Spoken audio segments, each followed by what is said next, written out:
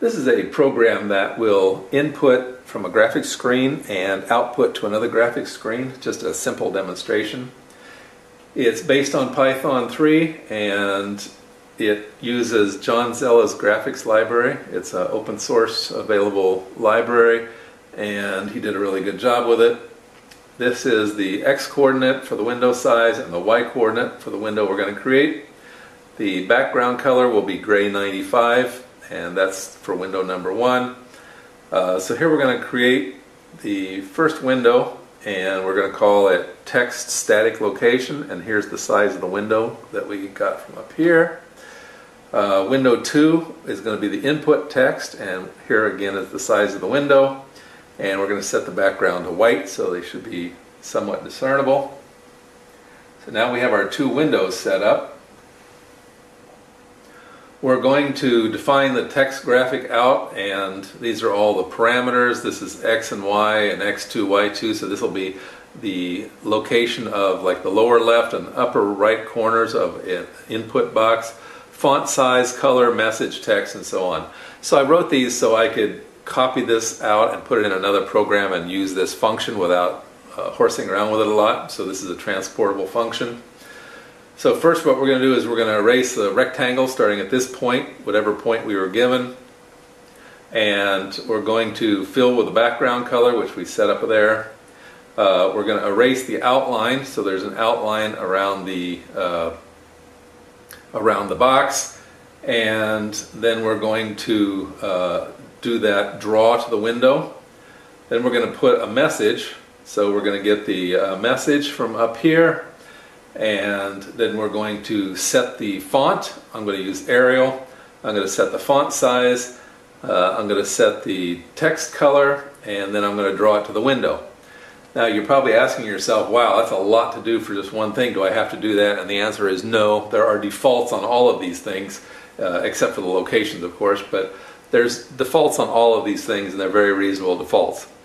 I just wanted to do this to do the maximum to kind of extract everything I could out of the function. Okay, and then when it comes down here, it returns back. Uh, we have the text inbox, so this is where we're going to type the text in and it's going to show up on this one. This is the output. So we'll enter our text in this box and I just call it input box. The entry point is going to be here. Uh, set fill is yellow, so the box where we're going to type into is yellow. Uh, it's Arial, it's size 18, it's italic. Again, I just wanted to demonstrate all these different things.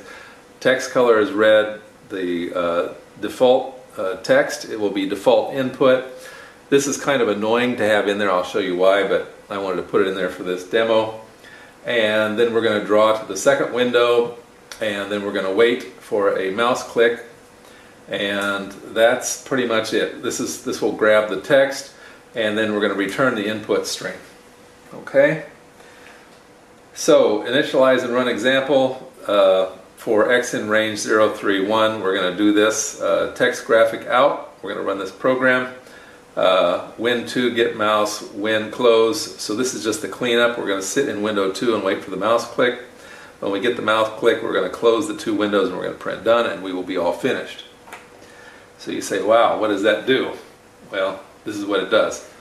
This is the input. This is that default text. It's in red, like we specified. Get rid of the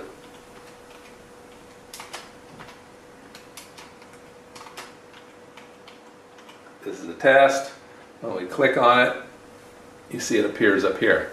So this is what this is a demonstration of. This is one of those things I keep in my sample library so that if I want to do input text, I can quickly grab this routine out of this bit of code and apply that somewhere and then this is the output to a static location in another window. Okay, well that was it. Yes, it's a pretty simple thing to do. However, there's a significant amount of code if you want to use all of the features. Okay, well hope you find that useful and interesting in your Python graphics programming.